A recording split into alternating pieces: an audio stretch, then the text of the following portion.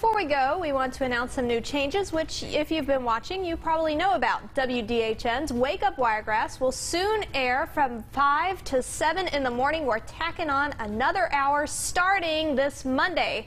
That's two hours of news while you get ready to start your day. And joining current morning anchor Amanda Arnold will be our very own Michael, Michael Rinker. Rinker. He's leaving us on the night side. He's moving in the morning, and you can catch up on all the news from overnight. You'll see him here at 6, though, tonight. Doesn't right. start for a few days. We'll see you at 6.